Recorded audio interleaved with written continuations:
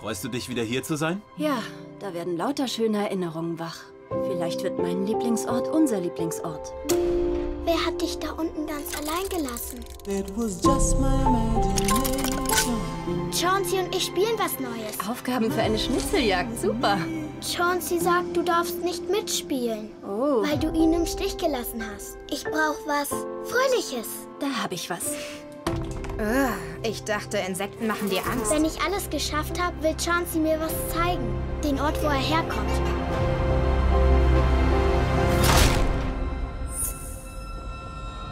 Etwas, das weh tut.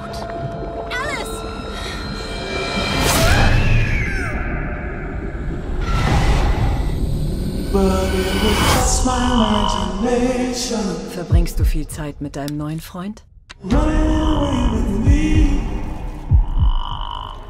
Er wollte, dass du dir selbst wehtust. Das war Teil des Spiels. Würde ein guter Freund so ein Spiel spielen wollen? Vielleicht sollte ich nicht mehr mit dir spielen, Chauncey. Vielleicht sollten wir keine Freunde sein. Nein, nein, nein, nein,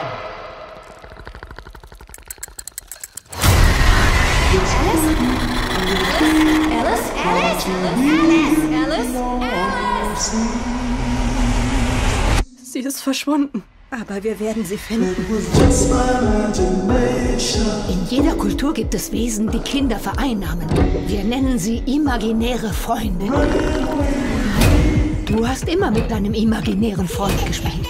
Wird ihre Verbindung getrennt, bricht das Wesen in blinde Wut aus.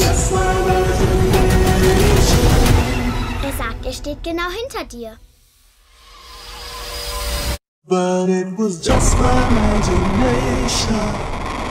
Kann ich auch mit deinem imaginären Freund abhängen? Er ist nicht imaginär. Und er ist nicht dein Freund.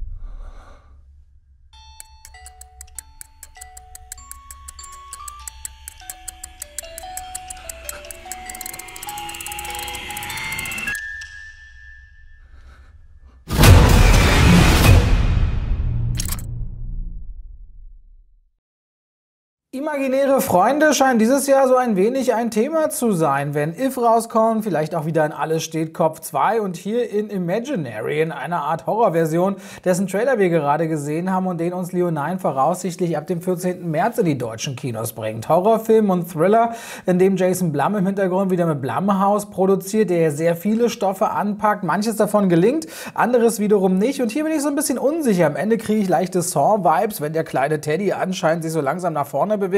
Im stillen Gang ist natürlich die Grundstory, dass ein Kind ein Spielzeug findet und ein böser Geist da drin existiert, der vielleicht auch letztendlich in das Kind hineinfährt, das dann auch verschwindet, hier in Form von Alice, einem kleinen Mädchen, die eigentlich ein neues Zuhause erlebt, weil Jessica, die mit dem neuen Mann Max und deren besten beiden Töchter in ihr Elternhaus zieht und da im Grunde auf Chauncey trifft. Das kleine Teddy-Spielzeug aus der Kindheit, das ein bisschen böse ist, dass man es zurückgelassen hat und anscheinend mit einer kleinen spielenden To-Do-Liste oder Schnitzeljagd geht es darum, Sachen zu tun, die eben auch ein bisschen wehtun können und dann vielleicht auch alle anderen beeinflussen. So ein bisschen schwingt für mich hier schon auch so ein Trash-Faktor durch, zumindest was den Trailer anbelangt.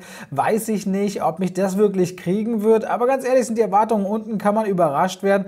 Ein Teddy alleine, ich weiß nicht unbedingt, ob das für mich am Ende funktionieren oder reichen wird, aber es gibt ja dieses creepy Wesen dahinter. Zumindest setzt der Trailer aus meiner Sicht nicht zu sehr auf Jumpscares, aber auch die Atmosphäre, die es für mich bräuchte, um zu sagen, muss ich sehen, lässt sich auch noch nicht greifen. Deswegen bin ich skeptisch, packe ein, ein, zwei Fragezeichen hinter Imaginary, was den Trailer angeht, aber vielleicht kann der dann was im Kino. Was sagt ihr denn zu diesem Trailer? Lasst mich gerne in den Kommentaren wissen und ich bedanke mich wie immer fürs Reinschalten und wünsche euch ganz viel Spaß im Kino.